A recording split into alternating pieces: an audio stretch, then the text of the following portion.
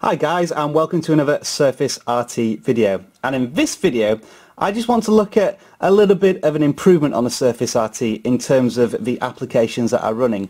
It's kind of an evolution of applications from uh, developers just getting the uh, Surface RT operating system for the first time, learning how to use it and then making improvements. Just to show you that even though the Surface RT is a new device and applications are still a little bit behind every other operating system, they are catching up. I'm going to just show you two very quick examples. The first one is Kindle.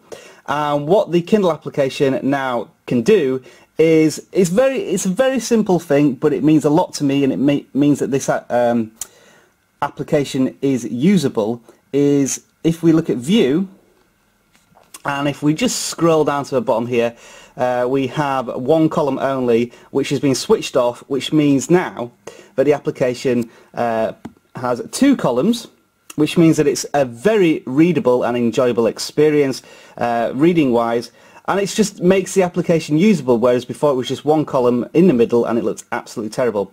There is still room for improvement however. If I scroll from side to side there is no transition so it's a bit of a clunky uh, way of moving from page to page. You're never quite sure uh, when you move to the next page or not. Uh, you can tap the sides as well and it does move. But again, it's just a little bit clunky. And in terms of uh, navigation, if I just go to another chapter, you're going to see one or two loading screens, which seems a bit inexplicable for a uh, tablet.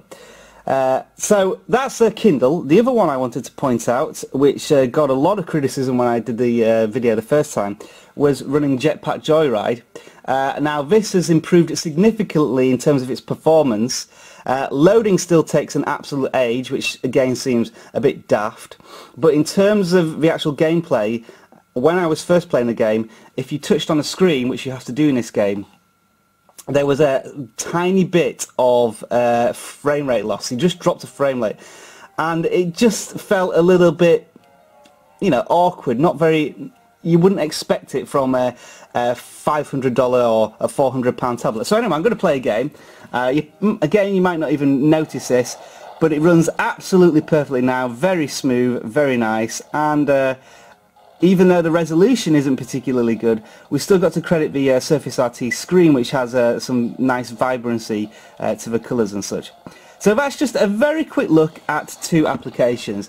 Not really much of a uh, deep investigation, but I just wanted to tell you that the Surface RT is improving in terms of its applications.